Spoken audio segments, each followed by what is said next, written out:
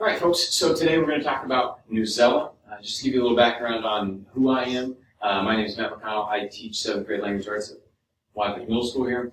And Newsela is a program that I have been using for five years now. It has evolved. Uh, it's developed a lot of new features uh, in the time that I've been using it, but it's something that I think is essential to my instruction. It's something that my students enjoy using, and it's something that, that I value highly as, as part of the curriculum of what we do. Um, so just to give you an idea of what it is, um, it's a database of articles featuring news and current events. But to really limit to that uh, would be doing it a disservice because there is a lot of options in the database. Um, they offer all sorts of things. I'm going to talk you through some of the different options, uh, but primarily they update daily their articles. Um, gives you a pretty good idea of what's going on in the world, what's important here and now. Um, so it's a tool to enhance literacy and comprehension, but it also has a lot of uh, connections to other academic content areas and, and lots of support for test prep and other things of that nature. So let's get into kind of the nuts and bolts of it. So some of the tools that are available in Newsela, you can adjust the lexile so every student is reading the same article at a lexile that is appropriate to them, that matches their reading level, which is really, it's amazing. In, in my classes, I generally, in seventh grade, have lexiles spanning from 800 or below all the way up to 13 or 1400, which is a very broad range. Uh, generally, somewhere between 950 to, to 1100 is what the creators of the lexile would say is, typical or standard for seventh grade. And so you, that just gives you an idea of how broad the range is. But with this tool, with Newsela, I can have all of them read the same information on Newsela, and then they can still talk about it, they can answer questions about it, they can do any sort of activity I would ask them, but the test text itself is that lexile where they can comprehend it and appreciate what's happening. Some of the newer features um, I show up in these later bullet points. The power words. Um, that's just a fancy way of saying vocabulary words. It's vocabulary support to help students boost their vocabulary, uh, boost their comprehension. It really helps them out. So with those, those are embedded in the in the text of the articles, and they can click on them and get more information about them and do activities with the power words. Uh, for somebody who might be teaching in a bilingual setting or have students uh, who English is their second language, it has Spanish text for, for bilingual students, and it has lots of connections uh, to help support and facilitate a better understanding of the English language for those students who maybe aren't as familiar or aren't as comfortable with it. Uh, one of the ones that I use frequently, I ask my students to highlight and annotate the text. Um, one of the ways that we use that specifically is uh, we have a color-coded system uh, that comes with our writing curriculum. And so I'll ask them to go in and read an article, and then I'll say, highlight all the places where you see the main idea, highlight it in green. Or all the supporting details or the key details, highlight those in yellow, or anything that is text evidence or an example or proof that supports an argument, highlight that in red. And so students can really get their hands on the different pieces and parts of the article. They can see how great writers organize their writing, and that's something that I, I think really helps students from a comprehension standpoint, but also from a writing standpoint because they get to see the, the nitty gritty of how authors are organizing their, their text.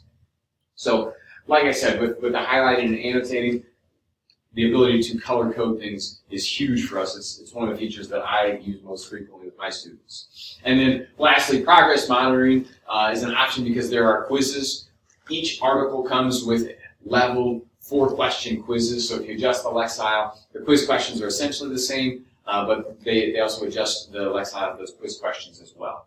And so that's something that you could use for progress monitoring um, to make sure the students are making progress. So for me personally, I generally assign an article, let the students become familiar with the program. The second time we, we read an article, highlight and annotate, we'll take the quiz and I'll record that score just as baseline data. And then I can use that to see, are you making progress? Are there certain types of, of writing that you're struggling with because of the different uh, options on Newsela? And so that's something that I use frequently for progress monitoring of my students, specifically with the nonfiction text or the informational text. So just a few uh, examples of the tools at work. You can see highlighting text here. So there are four different color options that you can highlight with Newsela. If you just highlight um, over in the right-hand margin, you'll see four color options pop up and you just click on one. So I believe the color options are green, yellow, red, and blue. So there's a lot of different things you can do with four different colors of highlighting. In addition to the highlighting, you can write notes in the right-hand margin. Um, so sometimes what I'll ask students to do is just simply label. If you highlight highlighted green, label it as a main idea. If you highlight highlighted yellow, label it as a, a supporting detail or a key detail. If you highlight it in red, tell us it's text evidence, and maybe even add in an explanation how does that prove or support uh, what the author is saying or what your argument is. Uh, here at the top uh, is just a screenshot of the toolbar and the title of an article that I assigned recently in my class. So you can see uh, right here where it says big red arrow, adjust the Lexile. You can see right now the Lexile is 1190. If you click on that, it's a drop-down menu. You can adjust that. Um, usually it typically has four different Lexile settings spanning anywhere from elementary to high school. Uh, different articles have different Lexiles, slightly different Lexile settings. Um, so I simply ask my students to write down their Lexile or memorize their Lexile, and obviously I keep it uh, myself as a, a, safeguard. But I'll just tell them, adjust it to your Lexile, I'll check and make sure they're all doing that, and that way the students are reading at their own Lexile. Um, up here you can also see there's a Spanish button, there's an activities button, that's where the quizzes, that's where the power words, um, and they've newly added the ability to write a summary, an objective summary about what they've read.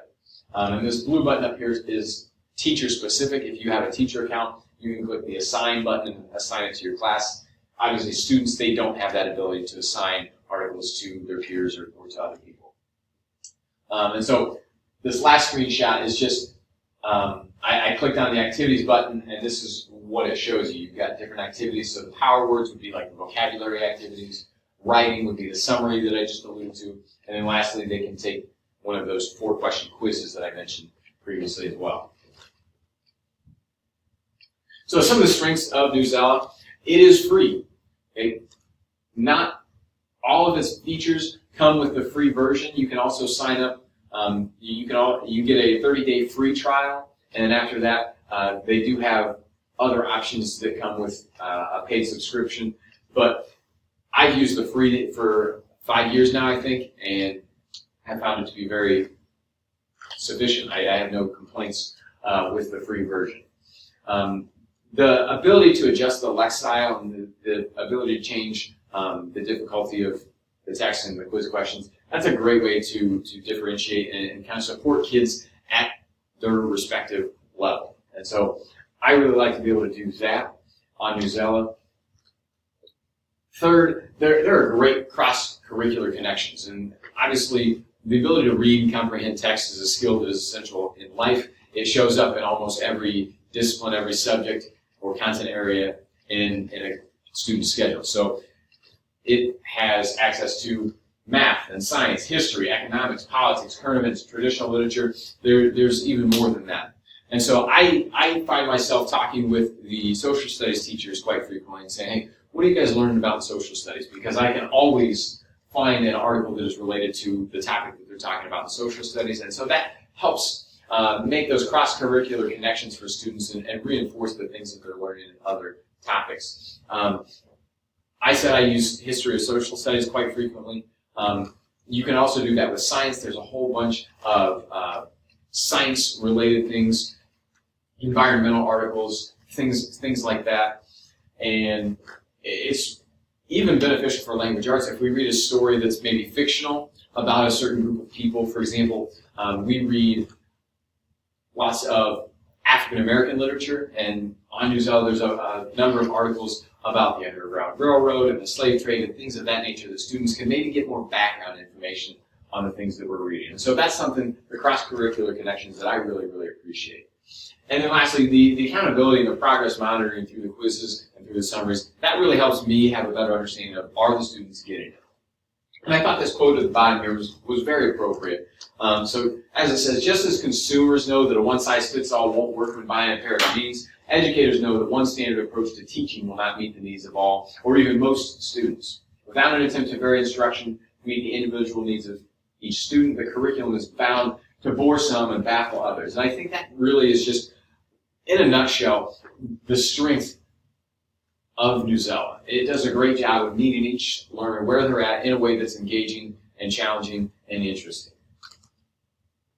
So just to give you some more ideas of, of the functions of Newsela, um, there's a pair of screenshots here. So there's, there's a line here dividing these. Um, I just wanted to show you the different drop-down menus. So you got in the news section, different categories, war and peace, money, kids, science, law, health, art, sports. Those are all different types of articles. If you click on one, you can see what pops up. They, they get a little um, thumbnail view of the article with its title, its category, and, and a picture. If they click on that, then obviously it opens up the article. Over here you see the library broken down uh, by, by subject. So art and culture, science and math, religion and philosophy. You can see there's a whole list of things here. Uh, really, there's, there's a myriad of options, and it just continues to grow. As Newsela adds more articles, their databases grow and grow and grow. One of the things that I found to be really cool is they do uh, text sets. You can see that up here. And so that's uh, a group of articles that relate to a, a similar theme or, or, a certain topic. So, for example, um, around Halloween, I like to assign a text set centering around Halloween. They've got articles on um, Halloween spending, traditions, the origins of Halloween. And so there's a lot that you can do with Newsela, and, and some of these features in the tool, toolbar and tool menu are outstanding, and I highly recommend them. So those are my references. I wanted to take a few minutes and just show you what Newsela looks like. So this is the main screen. Um, the first time that students navigate here, they're going to click Join, and you'll see it says to enter a class code. So as a teacher, I can beforehand create a class. You can make as many classes as you need, and then each class can have its own unique class code. And that way I could assign Article A to my first class and Article B to my second class. Maybe I have um, a seventh grade and an eighth grade class, and I can assign different articles to them. And so that class code is really simple to get kids signed up and, and help them get in. Uh, once they've signed in once, then they just click the sign in button. And one of my favorite headache eliminators is the sign in with Google button. If you just click the sign in with Google button, it might ask you to pick which account, and then you can sign in directly to Newsela. And when you get in, you'll see this home page with a lot of the different things um, that I was just talking about. And so each day, it, it, resets what articles they have available to you. So you can see um, just you know latest news, different ideas. They have a feature article, and obviously that's the big one right here. And then it also, really cool feature, has suggestions. So based on other things that you've assigned, based on other activities that you've given to your class, you can look through these suggestions and find maybe other articles that you weren't aware of. One of the things that I have students use, um, there's also a search bar. So you click it, you can type in what you want to search for. It even gives you suggested searches. So that's a great way if, if you are looking at for, as a teacher, looking for an article or a topic, you can just search it and see what pops up. Um, so I've had students use that to, if they're lost, if they can't find the article that I assigned to them, um, I've had students who simply type into the search bar and they can find it. One of the things that, that I appreciate um, is the binder. Um, for me as a teacher, I click on Binder. I can see all the assignments that I've given them. I can see the activity. Uh, it gives me a breakdown of how many students have accessed it. It gives me a breakdown of how much time they've spent on it. It gives me information about their scores and how they're performing on the assessments that I've assigned to them. And so that's really beneficial. So if I open up my class, you can see in McConnell ELA, you can see that I've got students in here. It shows you some of the articles that I've assigned recently, and then each summer, obviously you get new, new students most every year. You can archive classes and create new ones so that you're not overloaded with hundreds or thousands of articles as you use this year after year. So those are some of the features that I prefer the most. Um, just in summary, Newsela is a great tool for differentiation. It's a great tool because it has a little bit of everything in a sense, and so you can meet students where they're at and engage them with topics that they might find interesting. And so I, I strongly recommend using Newsela. Do you guys have any questions for me or anything you want me to walk through again? All right, thanks for being here today, folks.